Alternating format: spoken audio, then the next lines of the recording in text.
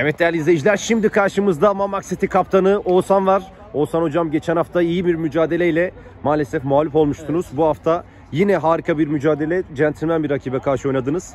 Son son dakikalarda senin attığın golle takımı galibiyete taşıdın. Kaptan olarak elinden geleni yaptın. Bu bir sonraki maçlarda da devam edecek mi? İnşallah. Söz sende.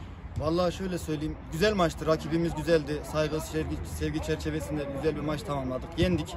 Güzel bir galibiyetti. Güzel güzel goller oldu öyle söyleyeyim. Ee, her iki takıma da ilerleyen maçlarda başarılar diliyorum.